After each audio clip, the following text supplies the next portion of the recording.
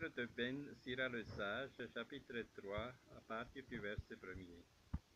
Mes enfants, écoutez-moi, ici votre Père, et agissez en conséquence afin d'être sauvés. Le Seigneur glorifie le Père sens de ses enfants. Il renforce l'autorité de la mère sur ses fils. Celui qui honore son Père obtient le pardon de ses péchés.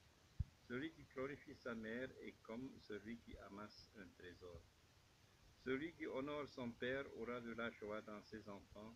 Au jour de sa prière, il sera exaucé. Celui qui glorifie son Père verra de longs jours. Celui qui obéit au Seigneur donne de réconfort à sa mère. Celui qui craint le Seigneur honorera son Père et servira ses parents comme des maîtres. Honore ton Père en acte et en, en parole afin que sa bénédiction vienne sur toi. Car la bénédiction d'un père affermit la maison de ses enfants, mais la malédiction d'une mère en sape les fondations.